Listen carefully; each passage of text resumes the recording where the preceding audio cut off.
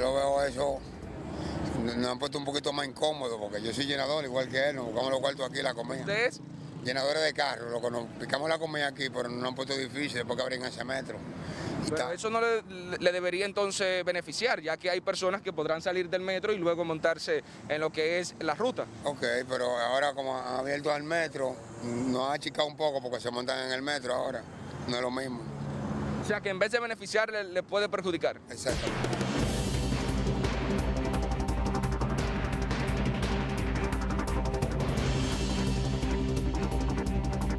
No, esto se pone bueno después de hoy. O sea, a usted sí le, le- le conviene. Después de hoy se pone bueno. O sea, que no está tan buena la cosa, pero después de hoy se pone buena, mejor.